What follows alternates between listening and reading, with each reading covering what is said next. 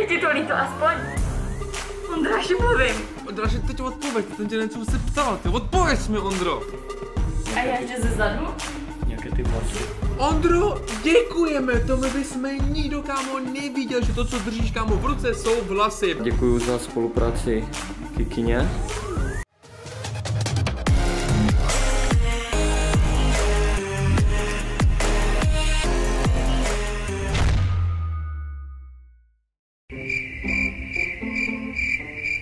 Davide, louskni tam prosím tě ze startu nějaký takový lehký romantický mod, protože...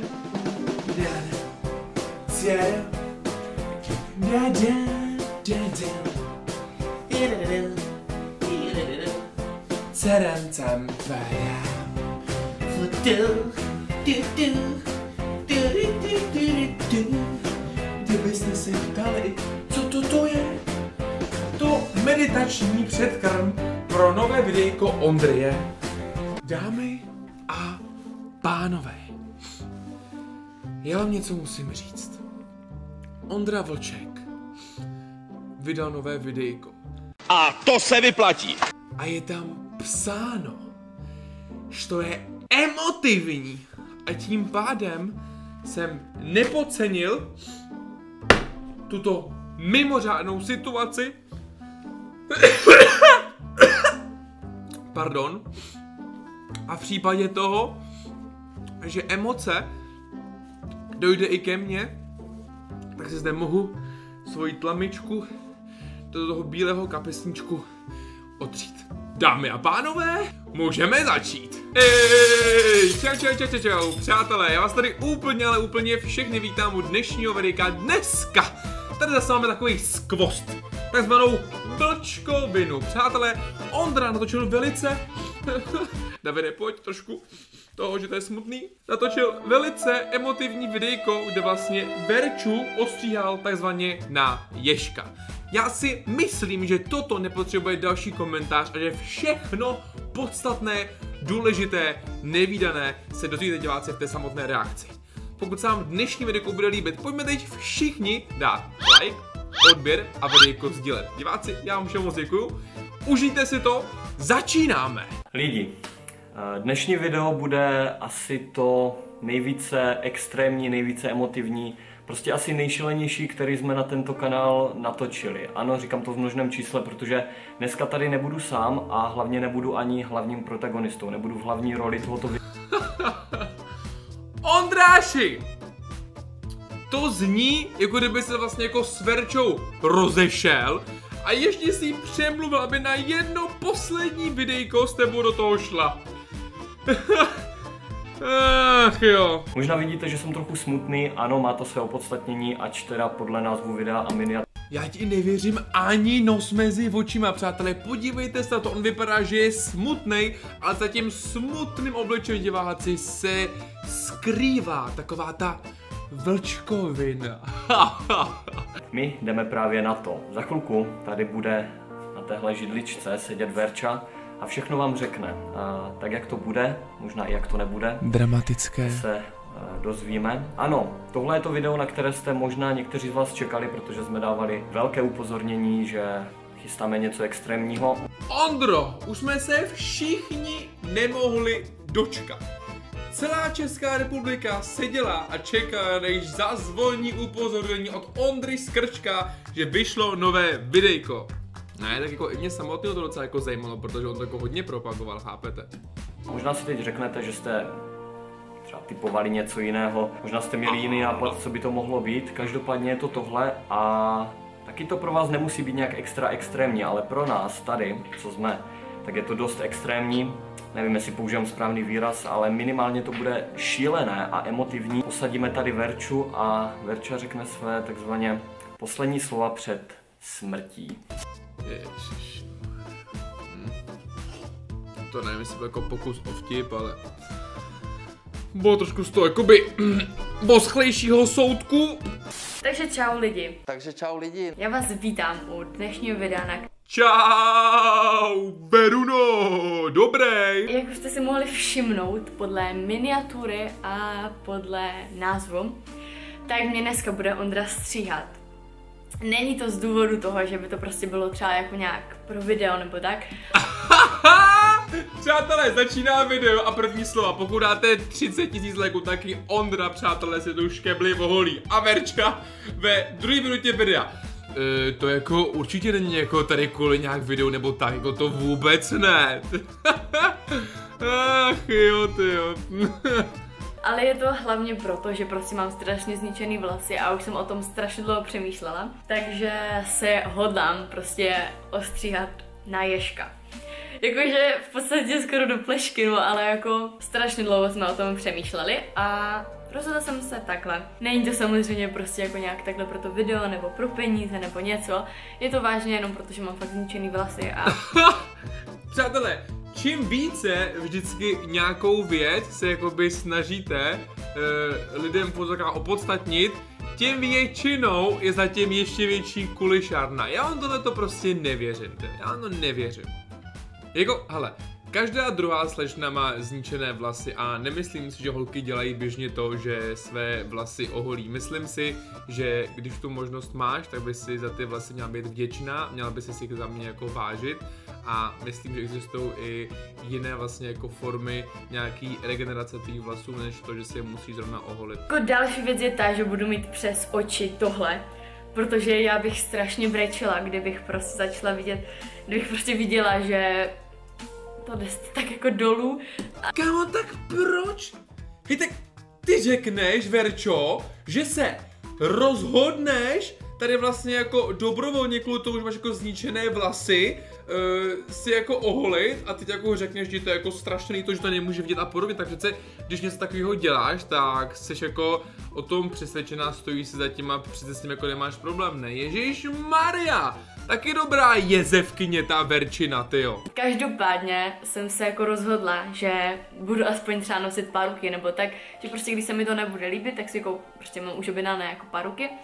A když se mi to nebude líbit, tak to prostě využiju a budu to nosit. To je komedie, to je komedie. Však bože, když si to jako oholíš ty vlasy, tak přece ty jo, uh, měj sama sebe rada takovou prostě jaká budeš, ne? Jako proč nemusíš to nějak ničím jako maskovat a podobně, A doufám, že to do, dokoukáte až do konce, protože je to strašně emotivní pro mě. Jak si můžete všimnout, tak jsem strašně nervózní. Divadlo. Ale, jako myslím si, že to je celkem pochopitelný, ale jako fakt nevím, jak budu vypadat a nevím, co od toho očekávat, ale doufám, že aspoň budu mít fakt zdravější vlasy a nebudu to dělat jako jen tak. Už jsme tady v záběru spolu, já jsem si šel pro tyto nůžky, protože jsem si řekl, že celé ty vlasy eh, tím strojkem, který tady mám připravený už, mimochodem, ano. Lépe řečeno, přátelé, kdyby Ondra rovnou ten strojek a ty vlasy Verče oholil, tak to video je za dvě minuty hotové, jo? Že by to nemělo 10 minut, nemělo by to reklamy a pro mě, tady ty důvody jsou maličko trošku jiný. Ale čekujte Ondráše, to je, přátelé, naprosto vášnivý barber. Napište všichni do komentářů diváci Vlček Holič. Dramatické, epické, naprosto nevýdané. Wow! Tak Verča samozřejmě nechce vidět, jak to bude probíhat. Kdybych měl tu možnost, tak uh, ani já bych to nerad viděl. Jelikož někdo to ustřihnout prostě musí, tak jsem tady já. Jo, a Verča... takový přátel, jak se říká, Blček, záchranář, absolutní jezevec. Ty už se nedívej, prosím tě, ano? Jo, jo. No. Dramatické? Já vede drama? Fakt? Jelikož to nepůjde asi úplně vidět, ale uh, myslím si, že můžeme začít. A Verčo, proč se na to díváš teda? Já nevím, to chci vidět, ne? OK, no, takže kdo to odstartuje? Já to no teď prostě. Ježišmarja. Nemluv prostě. Ondra, nemluv prostě nebo nebudu z toho videa groše. Pak to ztrácí veškerý smysl. Verčo, jako by, hele, já třeba chápu, že to pro tebe může být nějakým způsobem jako emotivní, ale nevypadá to úplně jako, že bys to přirozeně prožívala, holka. To si děláš srandu. Já to úplně cítím. Já to taky cítím. Nechci zde samozřejmě vůbec jakoby zacházet do nějakých dvojsmyslů a podobně, ale nemusíte nám tady sdělovat, eh, co se vlastně odehrávalo poprvé před 14 dny, nebo prostě v ten den, kdy Verča dostala 15. věku. Ty brďo. A není to nic zatím příjemného? To je hrozný zvuk. To měla říct Verča, ne on. Maria. Já prostě nechci, mě přijde, že ty do voice smysly říkají schválně, ty jo. To si děláš srandu, ne? Tak to Vole, ne. to, to můžeš dát do nějaké, To si děláš. to můžeš dát do nějaké té banky, nebo jak se tomu říká. Jo no, hej ty to si děláš. Zatím to nevypadá na videu nějak uh, extra, ale pokud se podáte ano, tohle už Aha. jsou A já nějaké ty, ještě ze zadu? nějaké ty vlasy. Ondro, děkujeme, to my bychom nikdo, kámo, neviděl, že to, co držíš, kámo, v ruce, jsou vlasy. Velice, kámo, děkujeme za krásné, milé vysvětlení. Díky moc. Nevím, asi, asi přejdeme na ten strojek, protože takhle by to bylo na hodně dlouho. I Verča úplně, ty jo, to jsou vlasy, nebo co to sakra je? Nevím, jestli to je úplně ideální. Samozřejmě se můžeš rozloučit z vlasky. Pojď, to je nechutný. Zatím bych Co, tak proč tomu čucháš? 20 mm, což jsou 2 cm, protože méně jakoby nejde, nebo aby to bylo Dobrý, dobrý, dobrý, nic, nic, nic, jdeme dál. ještě další ty vlasy. Takže uvidíme, podle toho se pak rozhodneme, jestli to ještě zkrátíme nebo ne. Takže si dej tu masku už Já se chci strašně plakat. a my jdeme na to. Bez Já se taky strašně plakat, ale to je z ničeho jiného, než z toho, že se zvostříhal, ty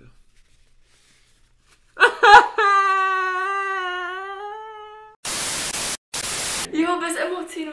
Lidi, vidíte to, vidíte to. A takhle ti to slyší.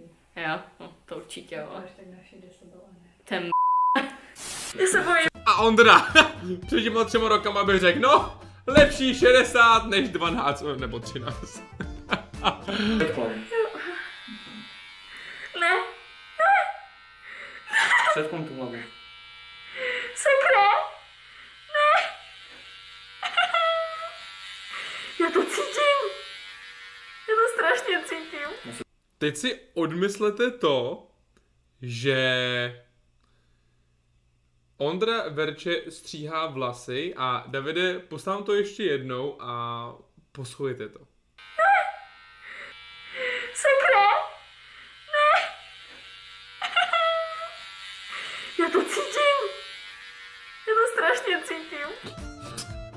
Fakt to zní jako stříhání vlasů. Ach, jako ne, o ty doby smysly nejde, že to je tak jenom pro srandu, ale proč to dělat takový, takový halo, takový drama, takovou aféru, víš, však vy tady vlastně jako natočíte videjko, kde vlastně uh, Verča uh, dobrovolně si ostříhá svoje vlasy, nebo lépe řečeno oholí, kvůli tomu, že je má zničené a do toho prostě čistě sama dobrovolně. A ty tady jako toho děláte úplně jako naprostou tyjo, zbytečnou komedii za mě. A tam víte co, jakoby Ondra udělal takový skvělý marketingový tah, protože i lidi, co Ondrášovi dávají dislikey, tak si myslím, že všichni chtějí vidět toho Ondráše, jak taky bude oholen, tak mu dají všichni like. Ondro, ty jsi to vychytal, přátelé, to byl chytrý tah od Ondřeje Skrčka. Je to, je to hrozné Já zadu. nevím, zatím ne. Počkej. Ondra se úplně to kouká, říká si, tak tohle to...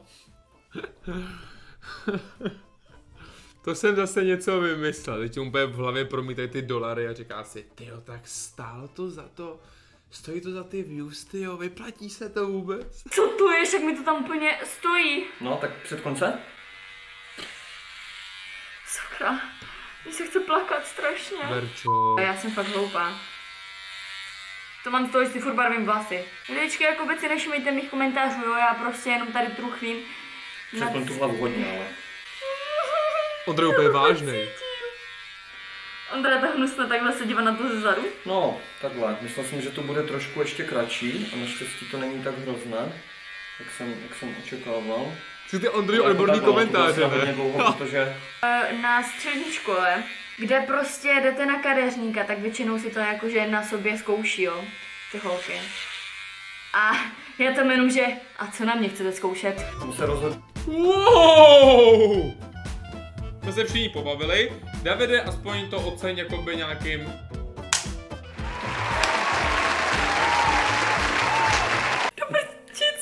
se... To, to vidět? Já budu strašně plakat, já budu strašně plakat. Ten zvuk je úplně hrozný, ale... No ano, ne, když střáš svoji přítelkyni vlasy, víš? Já jsem říkal na začátku, že to bude emotivní video. jako úplně tomu Ondra jako by se snaží kámo dodat úplně tu atmosféru, aby to úplně lidi úplně se to úplně jako vcítili a působilo to jako emotivně. Ondro, on je problém kámo v tom, že on to působí jako komedie a mě na to brzí jedna věc, že jste to podali takovýmhle způsobem, protože se osobně myslím, že je hodně slečen, co z nějakých důvodů nemohou mít například vlasy. Vlastně pak ještě jako druhá stránka slečen, který vlastně to jako propagujou, že ať se fakt mají jako lidi takový, jaký jsou a taky třeba se vlasy ostříhají. Ale tady v tomto videu ve finále Everče řekne, že to dělá jakoby dobrovolně, že to vlastně chce ale pak tady kolem toho jako by dělá strašnou komedii. A když tím jako přemýšlím, tak nějaký ty holky, co třeba ty vlasy jako nemají a ty když tady jako vidí to, jak ona se během toho chová, tak asi tam nebude úplně nic jako příjemného. Prostě šlo to pro ně podat jako trošku jinak. Kdybyste to podali tím způsobem, jako že Verča, OK, já se vlastně jako ostříhám a budu se mít teda taková, jaká jsem, tak budu mít nějakou krátké vlasy a podobně, tak by to video ještě působilo úplně jinak. Takhle to jako působí, že se skoro vstydí za to, že ty vlasy byly mít krátký, jako, ale jako to, je to prostě za mě blbě podaný, jako. Kámo, to ne, to fakt ne, do prdele. To si děláš z mě prdel. Kámo, to jak, to si ze mě děláš prdel. Ondřej, I když by Prosím! Ondřej, prosím. Já ti nechci, rozumíš tomu? Ondřej, prosím. možná někteří z nás chtěli momentálně ustoupit, jak se říká, už není cesty zpět. strašně pláču. Je ti to líto? Je ti to líto aspoň? Ondráši, mluvím. Jo, Co? jo. Je ti to To Ondra, teď odpověď, teď jsem tě něco se ptala, ty odpověď mi, Ondro! líto? Dobře, já to vidím. Mohlo stačit momentálně, jdeme dál. Mně to připadá, jako když uh, děti třeba v družině jsou smutný, že došel jako těm družinářkám syrup a budou pít jenom čistou vodu a ne jakoby sladkou s tím syrupem.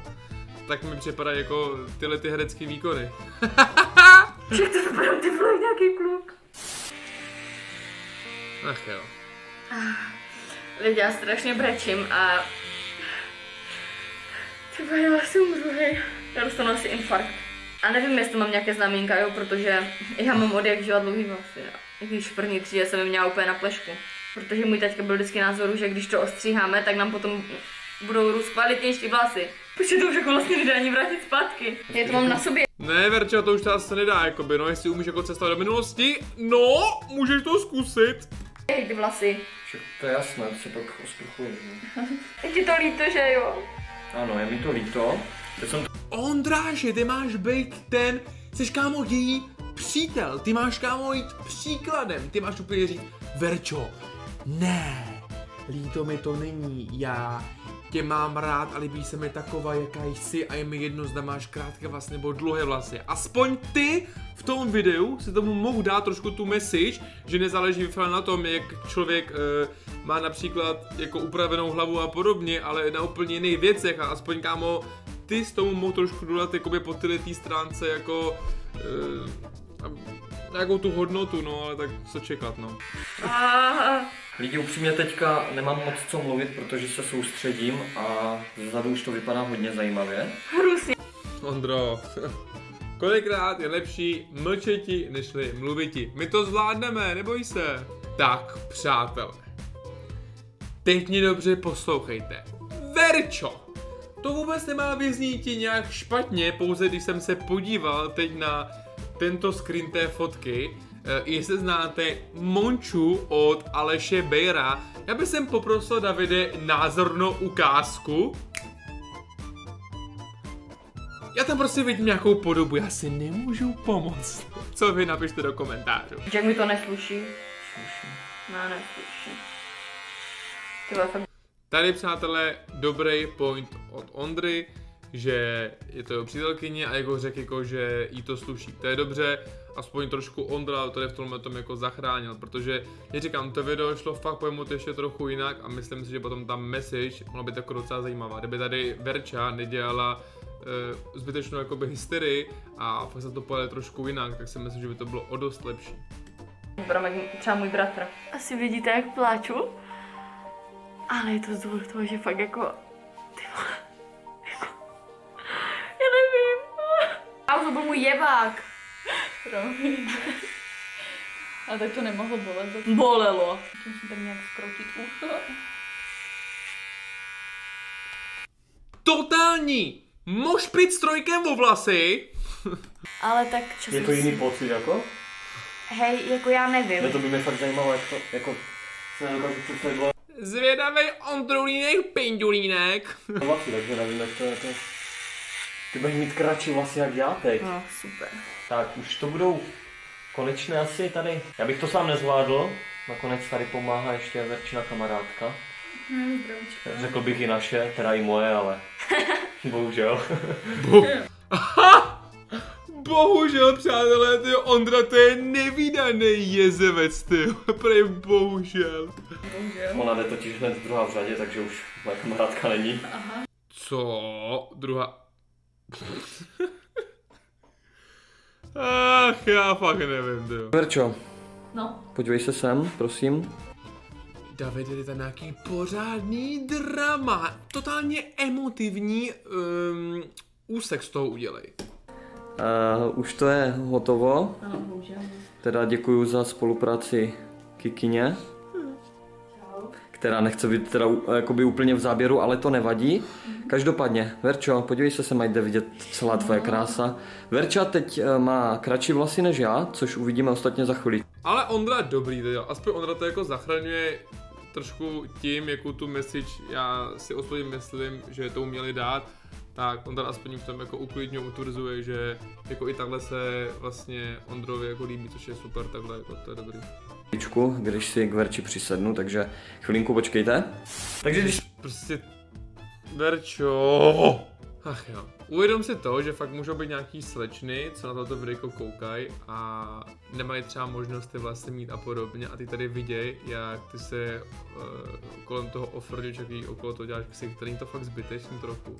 se na to tak koukám, tak opravdu, natáhni vlasy, jak můžeš.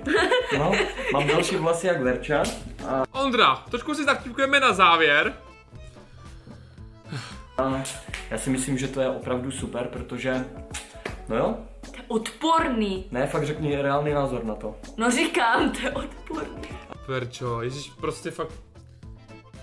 Jsou podle mě fakt slova, tady si můžeš uh, v tomhletom jako ohodu podle mě odpustit, protože je to fakt docela jakoby tenký let, zrovna tohleto a nemyslím si, že nějaký tvoje uh, poznatky tomu jsou úplně jako vhodný. A když jsme už s tím tak jako začínali, nebo když už jsme to navrhovali, že tohle uděláme, nebo Verča, že to prostě chce udělat a tak dál, tak jsem čekal, že to bude horší a stejně jsem si myslel, že to jakoby se mi bude líbit. Nakonec to není tak hrozné, jak jsem myslel a stále se mi to líbí, takže si myslím, že to je super. Takže lidi, jo, pokud na tomto videu bude, nevím, třeba 30 tisíc lajků, tak Ondra půjde do hola. To fakt ne. Ano, 30. To jako, Ano, 30 tisíc lajků. jakože v pohodě, jo. To určitě vymyslel Ondra, ale dobrý marketing. Říkám, aspoň jednou lidi, co dávají Ondrovi běžně dislikey, mu dají lajkoš. V dalších videích buď uvidíte Verču takto, to budeš nějak barvit, ne? Jo. Takže možná i z toho uděláme samotné video. Kámo, tak mám dost, kámo. Nejdřív řeknou, že to nedělají proto, aby jako z toho těžili nějaký peníze nebo z toho dělali nějaký videa. Teď Ondra zahlásí, že z toho budou další videa a největší perlička, úplná třešnička na dortu. Verča říká, no tak já mám ty vlasy jako uh, velice zničené, takže doufám, že ty, když se oholím, že to potom pomůže. A co Verča udělá? Ty vlasy si hned nechá nabarvit nějakou barvou. Well done. Tak a tady přesně teď vidíte a slyšíte, jaká je realita. Ach jo. A potom uh, přijde nějaká paruka, takže Verča bude mít asi paruku, jak si říkala na začátku. A už to vidím ty videa. Mm, Verča má šílenou paruku, epické. Verča má nabarvené vlasy, wow, šílené.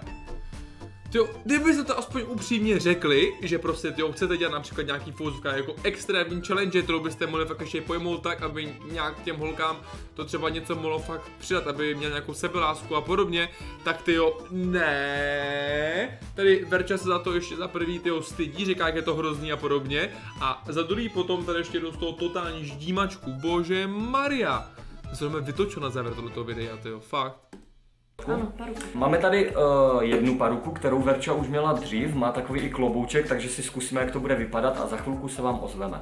Tak vidíte, celou dobu jsme si z vás vlastně tak trošku, jak se říká, stříleli Haha, prank, nic, nic, nic, nic netušit, nic, nic netušit, prank, prank. a Verča vlasy normálně má, ne, samozřejmě. Tohle je ta paruka, takže eh, na první pohled s tím kloboučkem bych ani nepoznal, že se o nějakou paruku jedná, ale není to jediná paruka, kterou bude mít. Co budeme diváci povídat? Jako už se nějak opakovat, říkám, šlo to pomoct trošku jinak. Verča kolem toho nemusela dělat takový divadlo a mohla naopak jako ukázat holkám, že se bají mít rádi takový, jaký prostě tu danou chvíli jsou a podobně, protože kolikrát to ty slečny ani ovlivnit nemůžou.